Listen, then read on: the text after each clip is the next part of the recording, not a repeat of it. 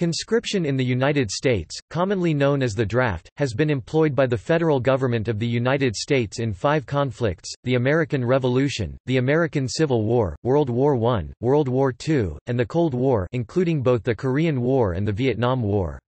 The third incarnation of the draft came into being in 1940 through the Selective Training and Service Act. It was the country's first peacetime draft. From 1940 until 1973, during both peacetime and periods of conflict, men were drafted to fill vacancies in the United States Armed Forces that could not be filled through voluntary means. The draft came to an end when the United States Armed Forces moved to an all-volunteer military force. However, the selective service system remains in place as a contingency plan. All male civilians between the ages of 18 and 25 are required to register so that a draft can be readily resumed if needed. United States federal law also provides for the compulsory conscription of men between the ages of 17 and 45 and certain women for militia service pursuant to Article 1, Section 8 of the United States Constitution and 10 U.S. Code Section 246.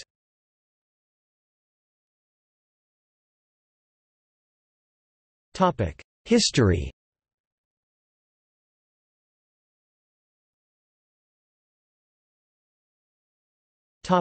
Colonial to 1862 In colonial times, the Thirteen Colonies used a militia system for defense. Colonial militia laws—and after independence those of the United States and the various states—required able-bodied males to enroll in the militia, to undergo a minimum of military training, and to serve for limited periods of time in war or emergency. This earliest form of conscription involved selective drafts of militiamen for service in particular campaigns.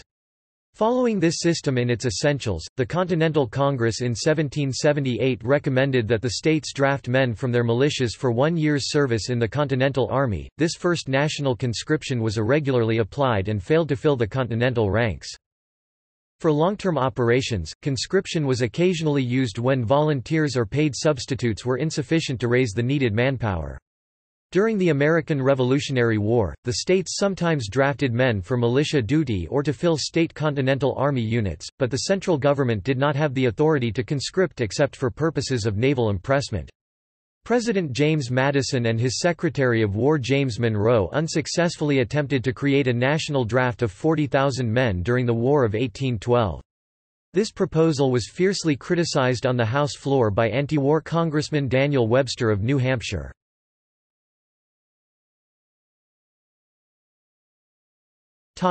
Civil War The United States first employed national conscription during the American Civil War.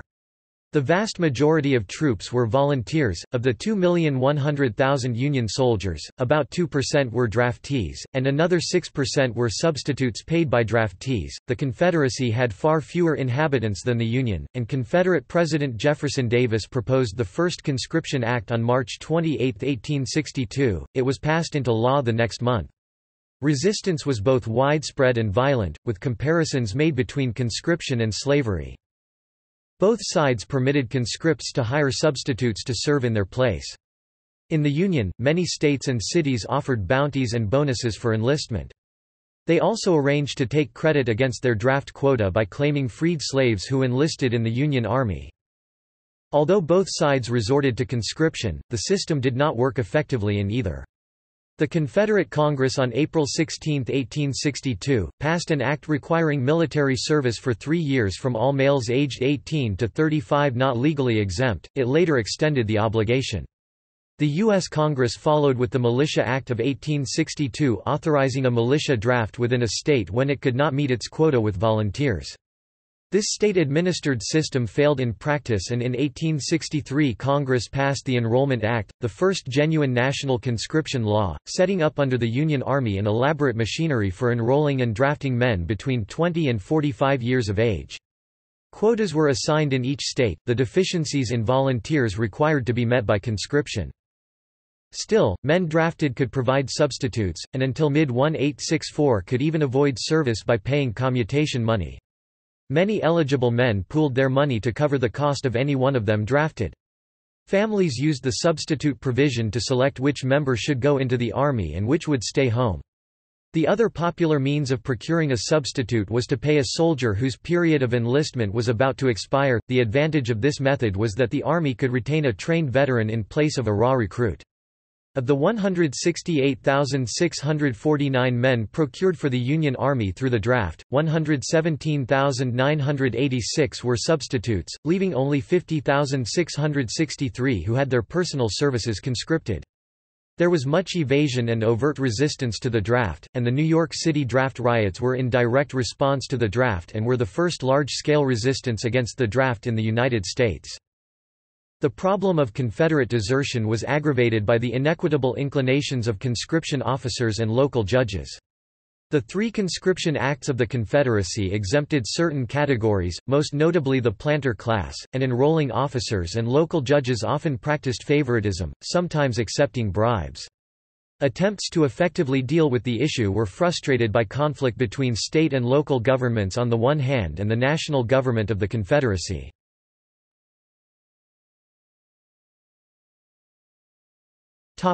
World War I In 1917 the administration of President Woodrow Wilson decided to rely primarily on conscription, rather than voluntary enlistment, to raise military manpower for World War I when only 73,000 volunteers enlisted out of the initial 1 million target in the first six weeks of the war. One ascribed motivation was to head off the former president, Theodore Roosevelt, who proposed to raise a volunteer division, which would upstage Wilson. However, there is no evidence that Roosevelt had the support to carry out that plan, and also, since Wilson had just started his second term in office the former president's prospects for substantial political gain would seem dubious. The Selective Service Act of 1917 was carefully drawn to remedy the defects in the Civil War system and, by allowing exemptions for dependency, essential occupations, and religious scruples—to place each man in his proper niche in a national war effort. The Act established a liability for military service of all male citizens, authorized a selective draft of all those between 21 and 31 years of age later from 18 to 45, and prohibited all forms of bounties, substitutions, or purchase of exemptions. Administration was entrusted to local boards composed of leading civilians in each community. These boards issued draft calls in order of numbers drawn in a national lottery and determined exemptions. In 1917, 10 million men were registered. This was deemed to be inadequate, so age ranges were increased and exemptions reduced, and so by the end of 1918 this increased to 24 million men that were registered with nearly 3 million inducted into the military services, with little of the resistance that characterized the Civil War, thanks to a well-received campaign by the government to increase support for the war, and shut down newspapers and magazines that published articles against the war. The draft was universal and included blacks on the same terms as whites, although they served in different units. In all 367,710 black Americans were drafted 13.0% of the total, compared to 2,442,586 white 86.9%. Along with a general opposition to American involvement in a foreign conflict, Southern farmers objected to perceived unfair conscription practices that exempted members of the upper class and industrial workers. Draft boards were localized and based their decisions on social class. The poorest were the most often conscripted because they were considered the least likely to be the skilled labor needed for the war effort. African Americans in particular were often disproportionately drafted, though they generally were conscripted as laborers and not sent into combat to avoid the tensions that would arise from mixing races in military units. Forms of resistance ranged from peaceful protest to violent demonstrations and from humble letter-writing campaigns asking for mercy to radical newspapers demanding reform. The most common tactics were dodging and desertion, and some communities in isolationist areas even sheltered and defended their draft dodgers as political heroes. Nearly half a million immigrants were drafted, which forced the military to develop training procedures that took ethnic differences into account. Military leaders invited progressive reformers and ethnic group leaders to assist in formulating new military policies. The military attempted to socialize and Americanize young immigrant recruits, not by forcing Anglo-conformity, but by showing remarkable sensitivity and respect for ethnic values and traditions and a concern for the morale of immigrant troops, with the aim of blending them into the larger society. Sports activities, keeping immigrant groups together, newspapers in various languages, the assistance of bilingual officers, and ethnic entertainment programs were all employed.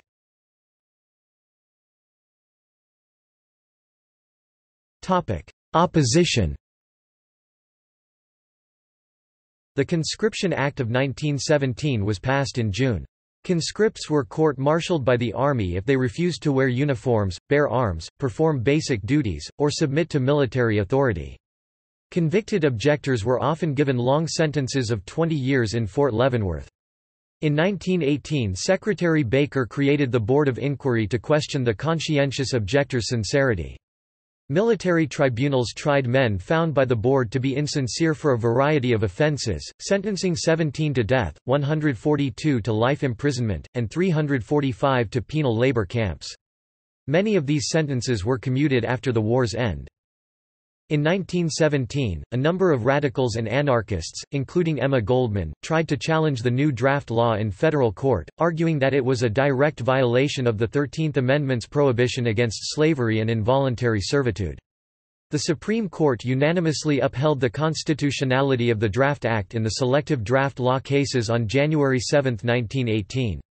The decision said the Constitution gave Congress the power to declare war and to raise and support armies. The court, relying partly on Vattel's The Law of Nations, emphasized the principle of the reciprocal rights and duties of citizens. It may not be doubted that the very conception of a just government and its duty to the citizen includes the reciprocal obligation of the citizen to render military service in case of need, and the right to compel it. To do more than state the proposition is absolutely unnecessary in view of the practical illustration afforded by the almost universal legislation to that effect now in force. Conscription was unpopular from left-wing sectors at the start, with many socialists jailed for obstructing the recruitment or enlistment service. The most famous was Eugene Debs, head of the Socialist Party of America, who ran for president in 1920 from his Atlanta prison cell. He had his sentence commuted to time served and was released on December 25, 1921, by President Warren G. Harding.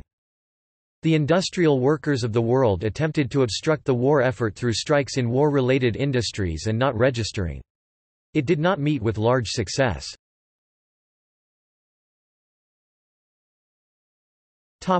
Conscientious objectors Conscientious objector exemptions were allowed for the Amish, Mennonites, Quakers, and Church of the Brethren only. All other religious and political objectors were forced to participate. Some 64,700 men claimed conscientious objector status. Local draft boards certified 57,000, of whom 30,000 passed the physical and 21,000 were inducted into the U.S. Army.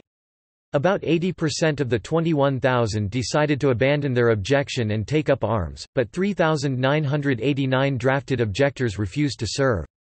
Most belonged to historically pacifist denominations, especially Quakers, Mennonites, and Moravian Brethren, as well as a few Seventh-day Adventists and Jehovah's Witnesses.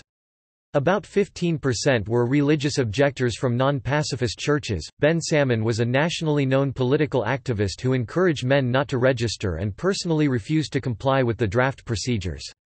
He rejected the Army Review Board proposal that he do noncombatant farm work. Sentenced to 25 years in prison, he again refused a proposed desk job. He was pardoned and released in November 1920 with a dishonorable discharge.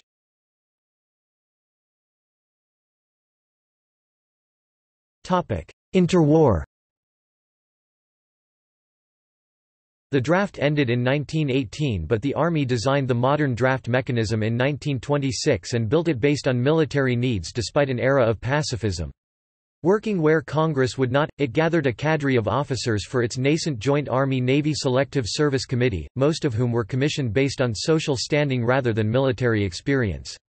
This effort did not receive congressionally approved funding until 1934 when Major General Lewis B. Hershey was assigned to the organization. The passage of a conscription act was opposed by some, including Dorothy Day and George Barry O'Toole, who were concerned that such conscription would not provide adequate protection for the rights of conscientious objectors. However, much of Hershey's work was codified into law with the Selective Training and Service Act of 1940 STSA.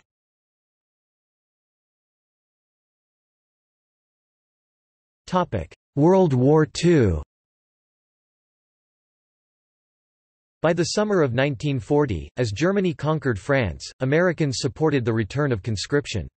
One national survey found that 67% of respondents believed that a German-Italian victory would endanger the United States, and that 71% supported the immediate adoption of compulsory military training for all young men. Similarly, a November 1942 survey of American high school students found that 69% favored compulsory post-war military training. The World War I system served as a model for that of World War II.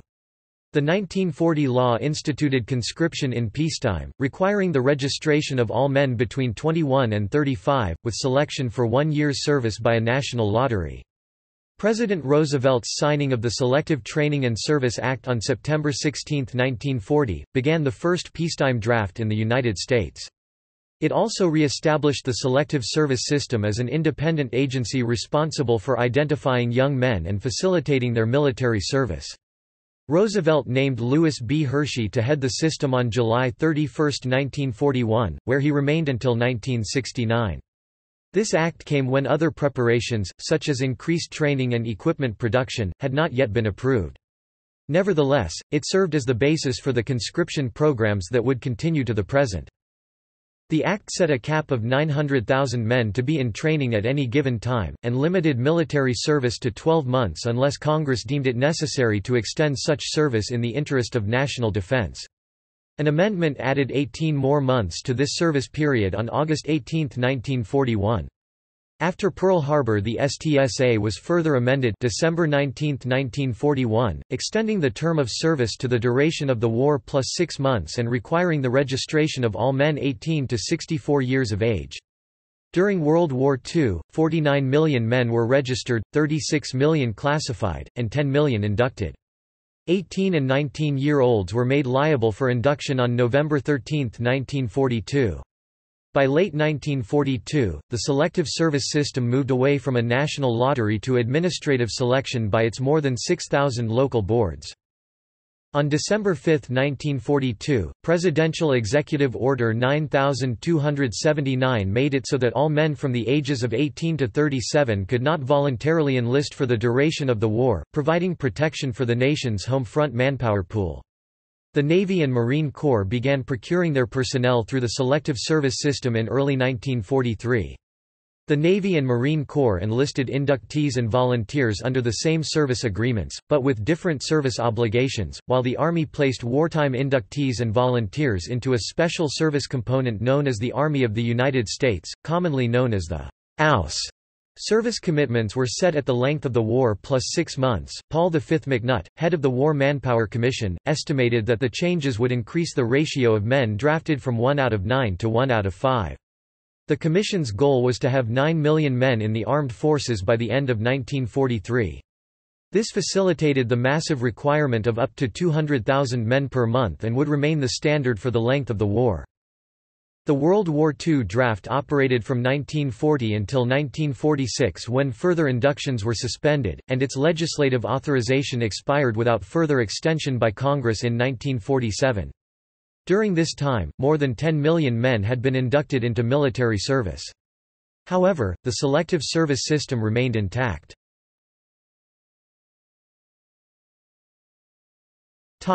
Opposition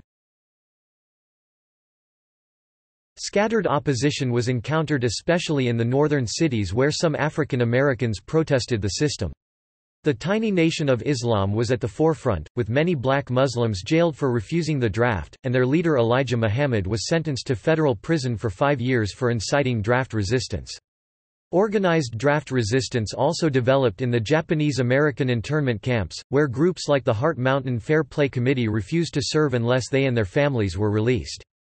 300 Nisei men from eight of the ten War Relocation Authority camps were arrested and stood trial for felony draft evasion, most were sentenced to federal prison. American Communists also opposed the war by forming the American Peace Committee, which tried to organize a coalition of anti-war groups.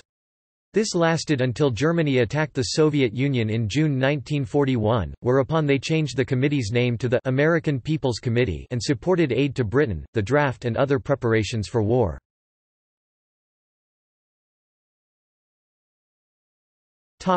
Conscientious objectors Of the more than 72,000 men registering as conscientious objectors CO, nearly 52,000 received CO status. Of these, over 25,000 entered the military in noncombatant roles, another 12,000 went to civilian work camps, and nearly 6,000 went to prison. Draft evasion only accounted for about 4% of the total inducted. About 373,000 alleged evaders were investigated with just over 16,000 being imprisoned.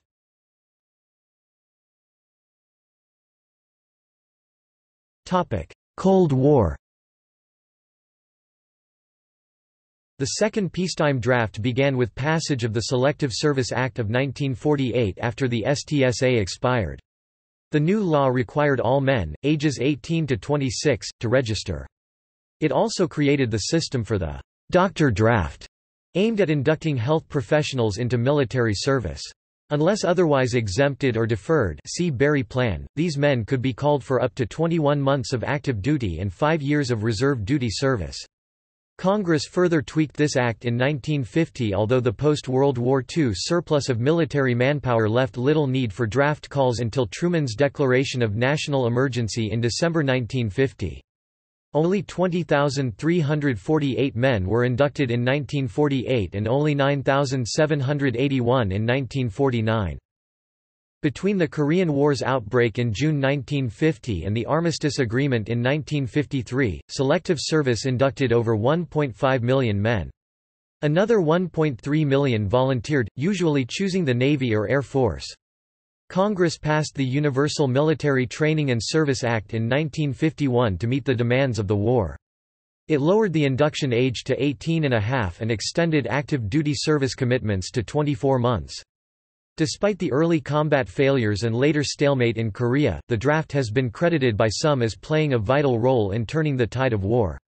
A February 1953 Gallup poll showed 70% of Americans surveyed felt the SSS handled the draft fairly. Notably, Gallup reported that 64% of the demographic group including all draft-age men males 21 to 29 believed the draft to be fair. To increase equity in the system, President Dwight D. Eisenhower signed an executive order on July 11, 1953, that ended the paternity deferment for married men. In large part, the change in the draft served the purposes of the burgeoning Cold War. From a program that had just barely passed congressional muster during the fearful prelude to World War II, a more robust draft continued as fears now focused on the Soviet threat. Nevertheless, some dissenting voices in Congress continue to appeal to the history of voluntary American military service as preferable for a democracy. The onset of the Cold War coincided with the time men born during the Great Depression began to reach military age. That the Depression had resulted in a substantial reduction of the birth rate was frequently pointed out by Hershey and other supporters of the draft to back up their doubts regarding the wisdom of returning to an all-volunteer military at a time when it was known that the number of men reaching military age was going to fall significantly. The Korean War was the first time any form of student deferment was used.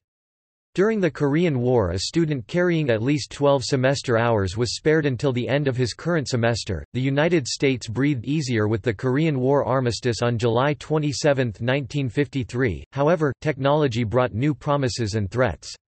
U.S. air and nuclear power fueled the Eisenhower doctrine of massive retaliation.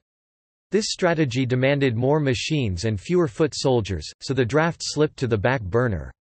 However, the head of the SSS, Maj. Gen. Hershey, urged caution fearing the conflict looming in Vietnam. In May 1953, he told his state directors to do everything possible to keep SSS alive in order to meet upcoming needs. Following the 1953 Korean War armistice, Congress passed the Reserve Forces Act of 1955 with the aim of improving National Guard and Federal Reserve component readiness while also constraining its use by the President. Towards this end, it mandated a six-year service commitment, in a combination of reserve and active duty time, for every line military member regardless of their means of entry. Meanwhile, the SSS kept itself alive by devising and managing a complex system of deferments for a swelling pool of candidates during a period of shrinking requirements. The greatest challenge to the draft came not from protesters but rather lobbyists seeking additional deferments for their constituency groups such as scientists and farmers. Government leaders felt the potential for a draft was a critical element in maintaining a constant flow of volunteers. On numerous occasions Gen. Hershey told Congress for every man drafted, three or four more were scared into volunteering. Assuming his assessment was accurate, this would mean over 11 million men volunteered for service because of the draft between January 1954 and April 1975. The policy of using the draft as force to compel voluntary enlistment was unique in U.S. history. Previous drafts had not aimed at encouraging individuals to sign up in order to gain preferential placement or less dangerous postings. However, the incremental buildup of Vietnam without a clear threat to the country bolstered this. Some estimates suggest conscription encompassed almost one-third of all eligible men during the period of 1965 to 69. This group represented those without exemption or resources to avoid military service. During the active combat phase, the possibility of avoiding combat by selecting their service and military specialty led as many as four out of eleven eligible men to enlist. The military relied upon this draft-induced volunteerism to make its quotas, especially the Army, which accounted for nearly 95% of all inductees during Vietnam. For example, defense recruiting reports show 34% of the recruits in 1964 up to 50% in 1970 indicated they joined to avoid placement uncertainty via the draft. These rates dwindled to 24% in 1972 and 15% in 1973 after the change to a lottery system. Accounting for other factors, it can be argued up to 60% of those who served throughout the Vietnam War did so directly or indirectly because of the draft. In addition, deferments provided an incentive for men to follow pursuits considered useful to the state. This process, known as channeling, helped push men into educational, occupational, and family choices they might not otherwise have pursued. Undergraduate degrees were valued. Graduate work had varying value over time, though technical and religious training received near constant support. War industry support in the form of teaching, research, or skilled labor also received deferred or exempt status. Finally, marriage and family were exempted because of its positive social consequences. This included using presidential orders to extend exemptions again to fathers and others. Channeling was also seen as a means of preempting the early loss of the country's best and brightest, who had historically joined and died early in war. In the only extended period of military conscription of U.S. males during a major peacetime period, the draft continued on a more limited basis during the late 1950s and early 1960s. While a far smaller percentage of eligible males were conscripted compared to war periods, draftees by law served in the Army for two years. Elvis Presley and Willie Mays were two of the most famous people drafted during this period. Public protests in the United States were few during the Korean War.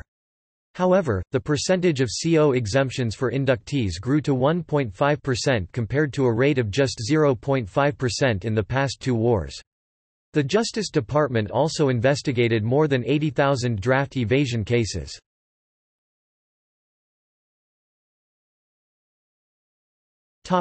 Vietnam War President Kennedy's decision to send military troops to Vietnam as advisors was a signal that Selective Service Director Lewis B. Hershey needed to visit the Oval Office. From that visit emerged two wishes of JFK with regard to conscription. The first was that the names of married men with children should occupy the very bottom of the call-up list. Just above them should be the names of men who are married. This presidential policy, however, was not to be formally encoded into selective service status. Men who fit into these categories became known as Kennedy husbands. When President Lyndon Johnson decided to rescind this Kennedy policy, there was a last-minute rush to the altar by thousands of American couples. Many early rank and file anti-conscription protesters had been allied with the National Committee for a Sane Nuclear Policy. The completion in 1963 of a limited nuclear test ban treaty left a mass of undirected youth in search of a cause. Syndicated cartoonist Al Capp portrayed them as SWINE, students wildly indignant about nearly everything. The catalyst for protest reconnection was the 1964 Gulf of Tonkin Resolution. Consequently, there was some opposition to the draft even before the major U.S. involvement in the Vietnam War began. The large cohort of baby boomers who became eligible for military service during the Vietnam War was responsible for a steep increase in the number of exemptions and deferments, especially for college students. Besides being able to avoid the draft, college graduates who volunteered for military service primarily as commissioned officers had a much better chance of securing a preferential posting compared to less educated inductees. As U.S. troop strength in South Vietnam increased, more young men were drafted for service there, and many of those still at home sought means of avoiding the draft. Since only 15,000 National Guard and Reserve soldiers were sent to South Vietnam, enlistment in the Guard or the Reserves became a popular means of avoiding serving in a war zone. For those who could meet the more stringent enlistment standards, service in the Air Force, Navy, or Coast Guard was a means of reducing the chances of being killed. Vocations to the ministry and the rabbinate soared, because divinity students were exempt from the draft. Doctors and draft board members found themselves being pressured by relatives or family friends to exempt potential draftees. The marriage deferment ended suddenly on August 26, 1965. Around 3.10 p.m. President Johnson signed an order allowing the draft of men who married after midnight that day, then around 5 p.m. he announced the change for the first time. Some conscientious objectors objected to the war based on the theory of just war. One of these, Stephen Spiro, was convicted of avoiding the draft, but given a suspended sentence of five years. He was later pardoned by President Gerald Ford. There were 8,744,000 service members between 1964 and 1975, of whom 3,403,000 were deployed to Southeast Asia. From a pool of approximately 27 million, the draft raised 2,215,000 men for military service in the United States, South Vietnam, and elsewhere during the Vietnam War era. The majority of service members deployed to South Vietnam were volunteers, even though hundreds of thousands of men opted to join the Army, Air Force, Navy, and Coast Guard for three- or four-year terms of enlistment rather than risk being drafted, serve for two years, and have no choice over their military occupational specialty MOS. Of the nearly 16 million men not engaged in active military service, 57% were exempted typically because of jobs including other military service, deferred usually for educational reasons, or disqualified usually for physical and mental deficiencies but also for criminal records including draft violations. The requirements for obtaining and maintaining an educational deferment changed several times in the late 1960s. For several years, students were required to take an annual qualification test. In 1967 educational deferments were changed for graduate students. Those starting graduate studies in the fall of 1967 were given two-semester deferments becoming eligible in June 1968. Those further along in their graduate study who entered prior to the summer of 1967 could continue to receive a deferment until they completed their studies. Peace Corps volunteers were no longer given deferments and their induction was left to the discretion of their local boards. However most boards allowed Peace Corps volunteers to complete their two years assignment before inducting them into the service. On December 1, 1969, a lottery was held to establish a draft priority for all those born between 1944 and 1950. Those with a high number no longer had to be concerned about the draft. Nearly 500,000 men were disqualified for criminal records, but less than 10,000 of them were convicted of draft violations. Finally, as many as 100,000 draft-eligible men fled the country.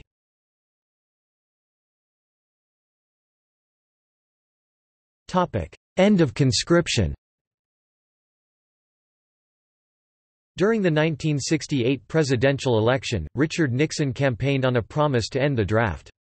He had first become interested in the idea of an all-volunteer army during his time out of office, based upon a paper by Martin Anderson of Columbia University.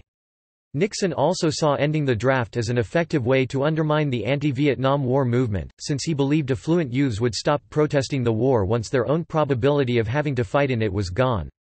There was opposition to the all-volunteer notion from both the Department of Defense and Congress, so Nixon took no immediate action towards ending the draft early in his presidency. Instead, the Gates Commission was formed, headed by Thomas S. Gates, Jr., a former Secretary of Defense in the Eisenhower administration. Gates initially opposed the all-volunteer Army idea, but changed his mind during the course of the 15-member commission's work.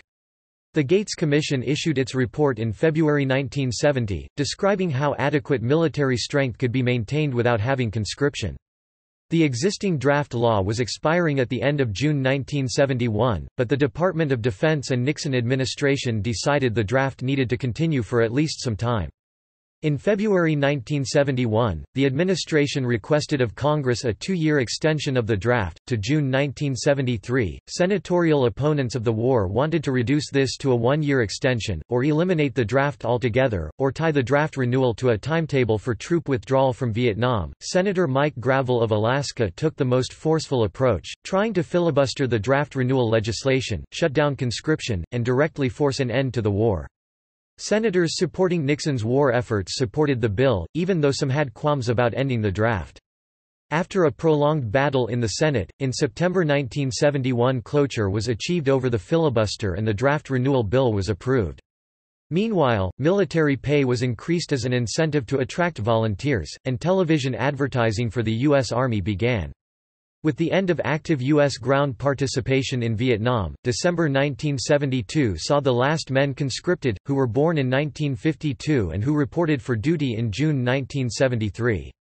On February 2, 1972, a drawing was held to determine draft priority numbers for men born in 1953, but in early 1973 it was announced by Secretary of Defense Melvin Laird that no further draft orders would be issued. In March 1973, 1974, and 1975, the Selective Service assigned draft priority numbers for all men born in 1954, 1955, and 1956, in case the draft was extended, but it never was. Command Sergeant Major Jeff Mellinger, believed to be the last drafted enlisted ranked soldier still on active duty, retired in 2011. Chief Warrant Officer 5 Ralph E. Rigby, the last Vietnam War-era drafted soldier of warrant officer rank, retired retired from the Army on November 10, 2014 after a 42-year career. Topic Post-1980 draft registration On July 2, 1980, President Jimmy Carter issued Presidential Proclamation 4771 and reinstated the requirement that young men register with the Selective Service System. At that time it was required that all males, born on or after January 1, 1960, register with the Selective Service System. Those now in this category are male U.S. citizens and male immigrant non-citizens between the ages of 18 and 25, who are required to register within 30 days of their 18th birthday even if they are not eligible to join the military. The Selective Service System describes its mission as to serve the emergency manpower needs of the military by conscripting untrained manpower, or personnel with professional health care skills, if directed by Congress and the President in a national crisis. Registration forms are available either online or at any U.S. post office. The Selective Service Registration Form states that failure to register is a felony punishable by up to five years imprisonment or a $250,000 fine. In practice, no one has been prosecuted for failure to comply with draft registration since 1986, in part because prosecutions of draft resistors proved counterproductive for the government, and in part because of the difficulty of proving that noncompliance with the law was knowing and willful. In interviews published in U.S. News & World Report in May 2016, current and former Selective Service System officials said that in 1988, the Department of Justice and Selective Service agreed to suspend any further prosecutions of non-registrants. Many men do not register at all, register late, or change addresses without notifying the Selective Service System. Even in the absence of prosecution, however, failure to register may lead to other consequences. Registration is a requirement for employment by the federal government and some states, as well as for receiving some state benefits such as driver's licenses. Refusing to register can also cause a loss of eligibility for federal financial aid for college.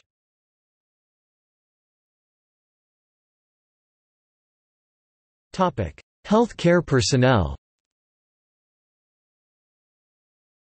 On December 1, 1989, Congress ordered the Selective Service System to put in place a system capable of drafting persons qualified for practice or employment in a health care and professional occupation, if such a special skills draft should be ordered by Congress. In response, Selective Service published plans for the Health Care Personnel Delivery System HCPDS in 1989 and has had them ready ever since. The concept underwent a preliminary field exercise in fiscal year 1998, followed by a more extensive nationwide readiness exercise in fiscal year 1999. The HCPDS plans include women and men ages 20 to 54 in 57 different job categories. As of May 2003, the Defense Department has said the most likely form of draft is a special skills draft, probably of healthcare workers.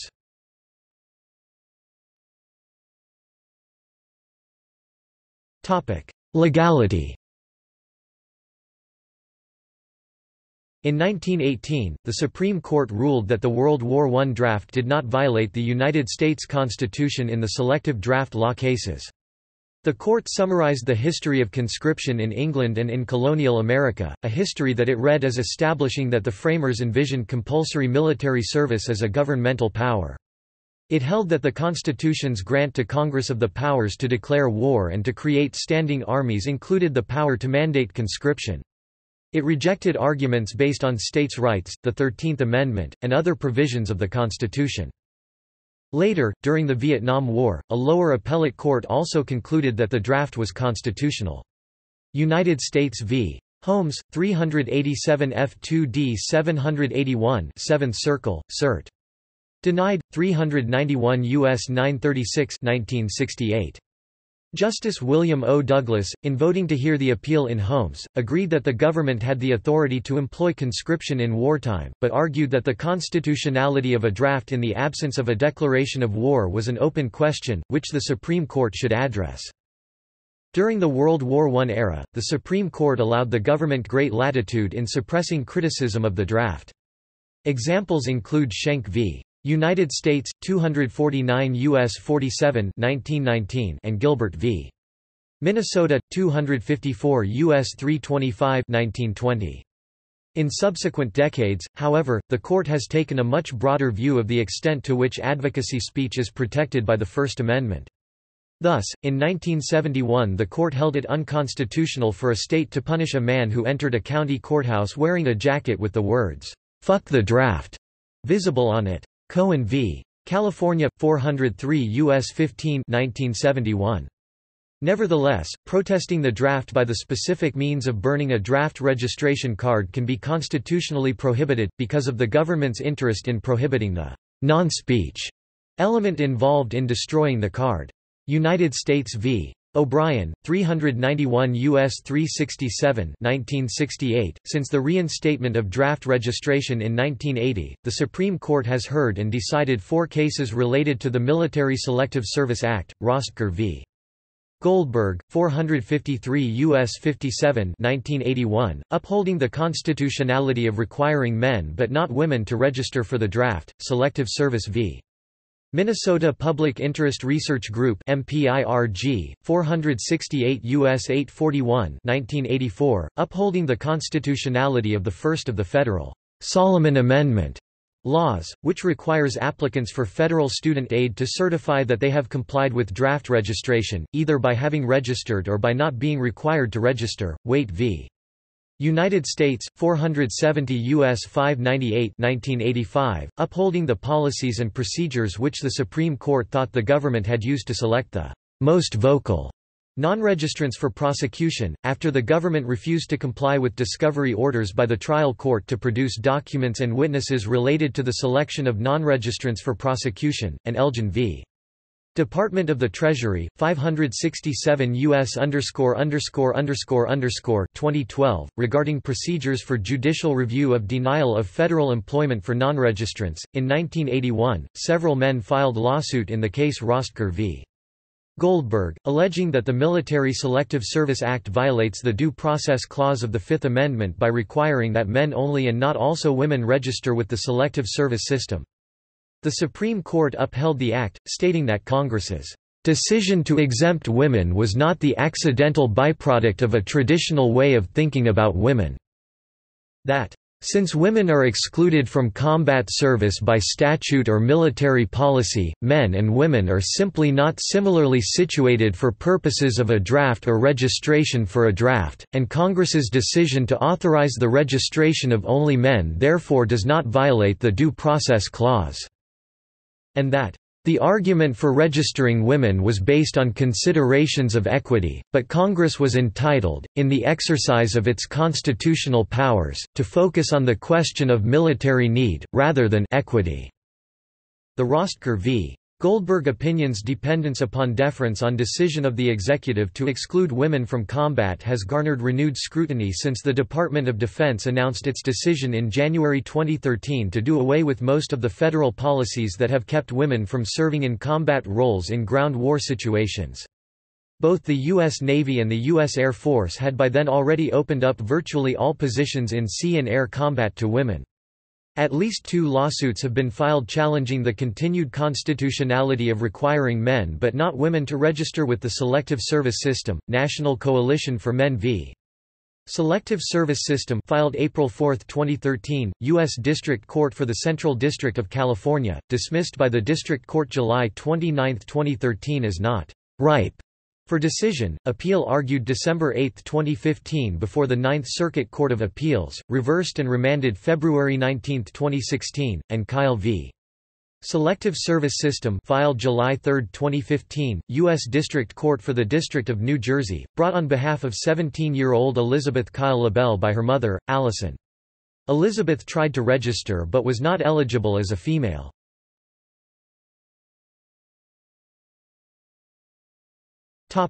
Conscientious objection According to the selective service system, a conscientious objector is one who is opposed to serving in the armed forces and or bearing arms on the grounds of moral or religious principles. Beliefs which qualify a registrant for CO status may be religious in nature, but don't have to be. Beliefs may be moral or ethical, however, a man's reasons for not wanting to participate in a war must not be based on politics, expediency, or self-interest. In general, the man's lifestyle prior to making his claim must reflect his current claims. The Supreme Court has ruled in cases United States v. Seeger 1965 and Welsh v. United States 1970 that conscientious objection can be by non-religious beliefs as well as religious beliefs, but it has also ruled in Gillette v. United States 1971 against objections to specific wars as grounds for conscientious objection. There is currently no mechanism to indicate that one is a conscientious objector in the selective service system. According to the SSS, after a person is drafted, he can claim conscientious objector status and then justify it before the local board. This is criticized because during the times of a draft, when the country is in emergency conditions, there could be increased pressure for local boards to be more harsh on conscientious objector claims. There are two types of status for conscientious objectors. If a person objects only to combat but not to service in the military, then the person could be given noncombatant service in the military without training of weapons. If the person objects to all military service, then the person could be ordered to alternative service with a job deemed to make a meaningful contribution to the maintenance of the national health, safety, and interest.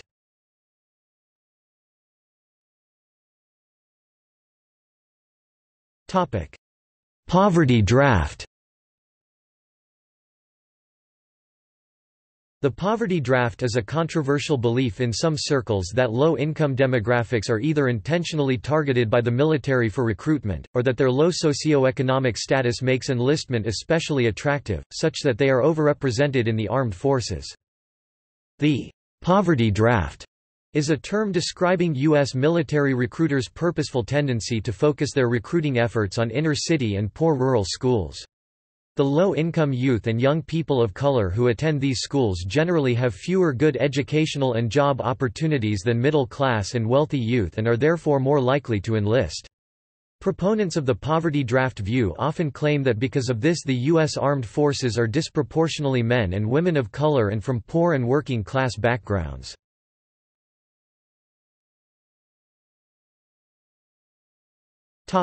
Selective service reforms The Selective Service System has maintained that they have implemented several reforms that would make the draft more fair and equitable. Some of the measures they have implemented include Before and during the Vietnam War, a young man could get a deferment by showing that he was a full-time student making satisfactory progress towards a degree, now deferment only lasts to the end of the semester. If the man is a senior he can defer until the end of the academic year. The government has said that draft boards are now more representative of the local communities in areas such as race and national origin. A lottery system would be used to determine the order of people being called up. Previously the oldest men who were found eligible for the draft would be taken first. In the new system, the men called first would be those who are or will turn 20 years old in the calendar year or those whose deferments will end in the calendar year. Each year after, the man will be placed on a lower priority status until his liability ends.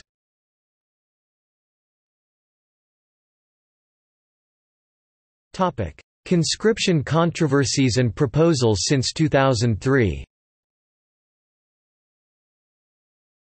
The effort to enforce Selective Service Registration Law was abandoned in 1986. Since then, no attempt to reinstate conscription has been able to attract much support in the legislature or among the public. Since early 2003, when the Iraq War appeared imminent, there had been attempts through legislation and campaign rhetoric to begin a new public conversation on the topic. Public opinion since 1973 has been largely negative. In 2003, several Democratic congressmen Charles Rangel of New York, Jim McDermott of Washington, John Conyers of Michigan, John Lewis of Georgia, Pete Stark of California, Neil Abercrombie of Hawaii introduced legislation that would draft both men and women into either military or civilian government service, should there be a draft in the future.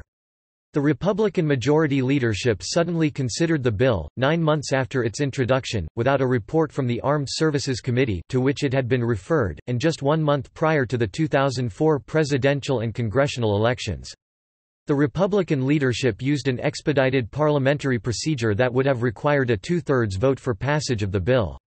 The bill was defeated on October 5, 2004, with two members voting for it and 402 members voting against. This statement was in reference to the U.S. Department of Defense use of stop-loss orders, which have extended the active duty periods of some military personnel. All enlistees, upon entering the service, volunteer for a minimum eight-year military service obligation MSO. This MSO is split between a minimum active duty period, followed by a reserve period where enlistees may be called back to active duty for the remainder of the eight years. Some of these active duty extensions have been for as long as two years. The Pentagon stated that as of August 24, 2004, 20,000 soldiers, sailors, airmen, and Marines had been affected. As of January 31, 2006 it has been reported that more than 50,000 soldiers and reservists had been affected, despite arguments by defense leaders that they had no interest in reinstituting the draft. Representative Neil Abercrombie's inclusion of a DoD memo in the congressional record which detailed a meeting by senior leaders signaled renewed interest. Though the conclusion of the meeting memo did not call for a reinstatement of the draft, it did suggest Selective Service Act modifications to include registration by women and self-reporting of critical skills that could serve to meet military, homeland defense, and humanitarian needs. This hinted at more targeted draft options being considered, perhaps like that of the doctor draft that began in the 1950s to provide nearly 66% of the medical professionals who served in the Army in Korea. Once created, this manpower tool continued to be used through 1972. The meeting memo gave DoD's primary reason for opposing a draft as a matter of cost-effectiveness and efficiency. Draftees with less than two years retention were said to be a net drain on military resources, providing insufficient benefit to offset overhead costs of using them. Mentions of the draft during the presidential campaign led to a resurgence of anti draft and draft resistance organizing. One poll of young voters in October 2004 found that 29% would resist if drafted. In November 2006, Representative Charles B. Rangel (DNY) again called for the draft to be reinstated. Speaker of the House Nancy Pelosi rejected the proposal. On December 19, 2006, President George W. Bush announced that he was considering sending more troops to Iraq.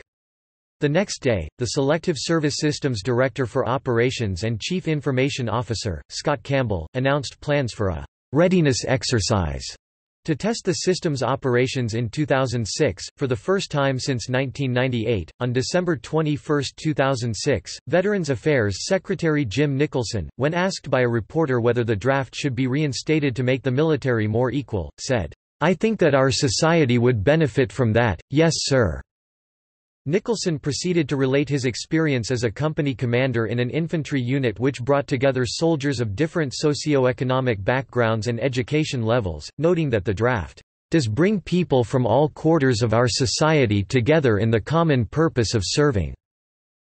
Nicholson later issued a statement saying he does not support reinstating the draft. On August 10, 2007, with National Public Radio on All Things Considered, Lieutenant General Douglas Lute, National Security Advisor to the President and Congress for all matters pertaining to the United States military efforts in Iraq and Afghanistan, expressed support for a draft to alleviate the stress on the Army's all-volunteer force.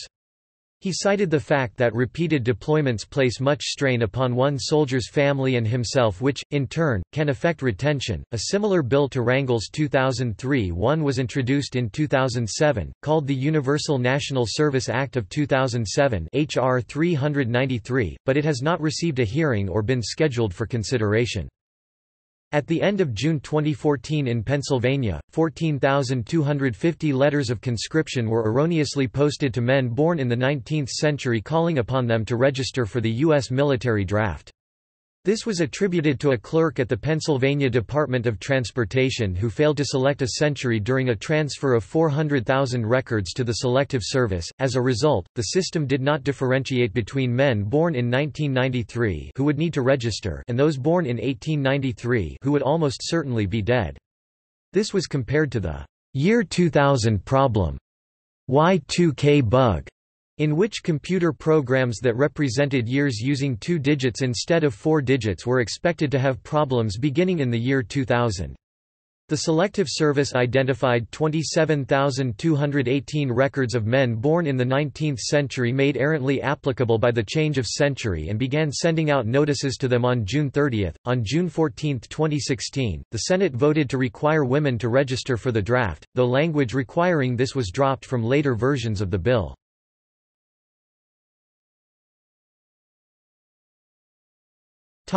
Non-citizens The Selective Service and the draft in the United States is not limited to citizens. Howard Stringer, for example, was drafted six weeks after arriving from his native Britain in 1965. Today, non-citizen males of appropriate age in the United States, who are permanent residents holders of green cards, seasonal agricultural workers not holding an H-2A visa, refugees, parolees, asylees, and illegal immigrants, are required to register with the Selective Service System. Refusal to do so is grounds for denial of a future citizenship application. In addition, immigrants who seek to naturalize as citizens must, as part of the oath of citizenship, swear to the following that I will bear arms on behalf of the United States when required by the law, that I will perform noncombatant service in the armed forces of the United States when required by the law, that I will perform work of national importance under civilian direction when required by the law. The United States Citizenship and Immigration Services website also states however, However, since 1975, USCIS has allowed the oath to be taken without the clauses, that I will bear arms on behalf of the United States when required by law, that I will perform noncombatant service in the armed forces of the United States when required by law.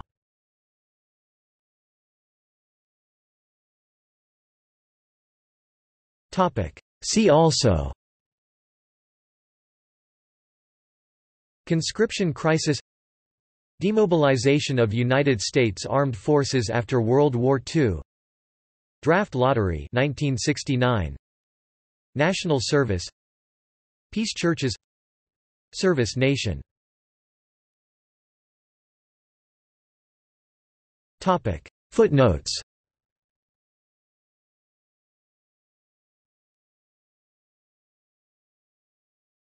Topic. References and further reading Martin Anderson, Valerie Bloom 1976. Conscription, A Select and Annotated Bibliography. Hoover Press. ISBN 978-0-8179-2571-0, full text. Leach, Jack F. Conscription in the United States, Historical Background, Rutland, Vermont. 1952. American Revolution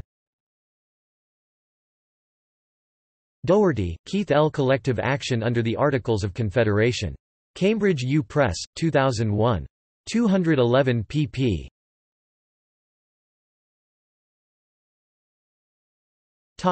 Civil War Bernstein, Iver. The New York City Draft Riots, Their Significance for American Society and Politics in the Age of the Civil War 1990, online edition Cruz, Barbara C. and Jennifer Marcus Patterson. In the midst of strange and terrible times, the New York City Draft Riots of 1863. Social Education, v. 69 No. 1 2005. pp 10+, with Teacher's Guide and URLs, online version Geary, James W. We Need Men, The Union Draft in the Civil War 1991 pp. 264 Geary, James W. Civil War Conscription in the North, A Historiographical Review. Civil War History 32 1986, 208–28, online Hilderman, Walter C., 3. They Went into the Fight Cheering. Confederate Conscription in North Carolina. Boone, N.C., Parkway, 2005. pp. 272 Hyman, Harold M. A More Perfect Union, The Impact of the Civil War and Reconstruction on the Constitution, 1973, ch 13, online edition Kenny, Kevin. Abraham Lincoln and the American Irish. American Journal of Irish Studies 2013, 39–64. Levine, Peter. Draft Evasion in the North during the Civil War, 1863–1865. Journal of American History 67 1981, 816–34 online edition Moore, Albert Burton. Conscription and Conflict in the Confederacy 1924 online edition Murdock, Eugene C. One Million Men, The Civil War Draft in the North 1971. Shankman, Arnold. Draft Resistance in Civil War Pennsylvania. Pennsylvania Magazine of History and Biography 1977, 190–204, online Wheeler, Kenneth H. Local Autonomy and Civil War Draft Resistance, Holmes County, Ohio. Civil War History, v.45 No. 2 1999. pp 147 plus online edition. Topic World War I Chambers II, John Whiteclay. To Raise an Army, The Draft Comes to Modern America 1987, comprehensive look at the national level. Ford, Nancy Gentile 2001. Americans All, Foreign-Born Soldiers in World War I Texas A&M University Military History Series, 73. ISBN 978 one 60344 132 2 Ford, Nancy Gentile. Mindful of the traditions of his race, dual identity and foreign-born soldiers in the First World War American Army, Journal of American Ethnic History 1997 16 35–57. ISSN 0278-5927 Full text, in EBSCO Hickel, K. Walter.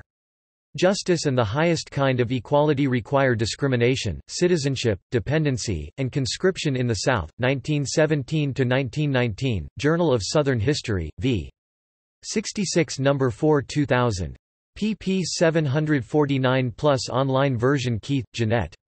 The Politics of Southern Draft Resistance, 1917–1918, Class, Race, and Conscription in the Rural South, Journal of American History 2087 4, 1335–1361. ISSN 0021-8723 Full text, in JSTOR and EBSCO Keith, Jeanette. Rich Man's War, Poor Man's Fight, Race, Class, and Power in the Rural South During the First World War, 2004. 260 pp.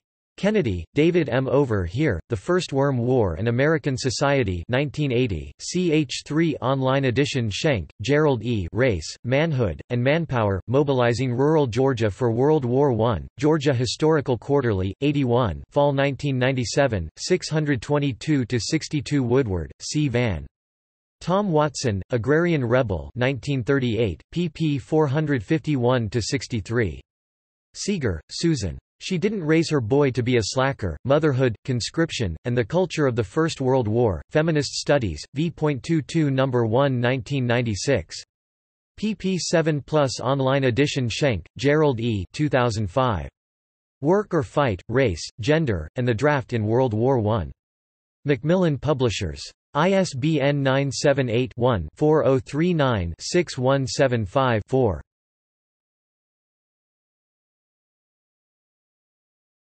Topic: World War II Flynn, George Q. The Draft, 1940–1973. Lawrence, University Press of Kansas, 1993, The Standard History Gary, Clifford J. and Samuel R. Spencer, Jr. The First Peacetime Draft, 1986. Goossen, Rachel Waltner, Women Against the Good War, Conscientious Objection and Gender on the American Home Front, 1941-1947-1997 online edition Westbrook, Robert. I Want a Girl Just Like the Girl That Married Harry James's, American Women and the Problem of Political Obligation in World War II.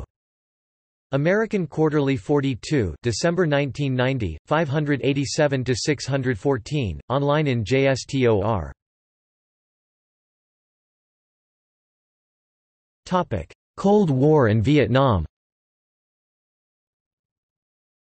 Lawrence M. Baskir, William A. Strauss 1978. Chance and Circumstance, The Draft, The War, and the Vietnam Generation. Random House. ISBN 978-0-394-72749-3. Flynn, George Q. The Draft, 1940–1973. Lawrence, University Press of Kansas, 1993, The Standard History Mark Leepson. What It Was Like to Be Drafted. The New York Times. Vietnam 67.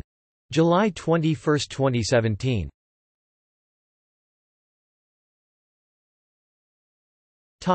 Recent. Halstead, Fred. GIs Speak Out Against the War, The Case of the Feet. Jackson 8. 128 pages. New York, Pathfinder Press, 1970. Warner, John T. and Beth J. Asch. The Record and Prospects of the All-Volunteer Military in the United States. Journal of Economic Perspectives 2001 15 169–192. ISSN 0895-3309 Full text, in JSTOR and EBSCO Wooten, Evan M. Banging on the Backdoor Draft, The Constitutional Validity of Stop-Loss in the Military. William and Mary Law Review, Volume 47, 2005 Chambers II, John Whiteclay, ed. Draftees or Volunteers, A Documentary History of the Debate over Military Conscription in the United States, 1787–1973, 1975–1976 2011.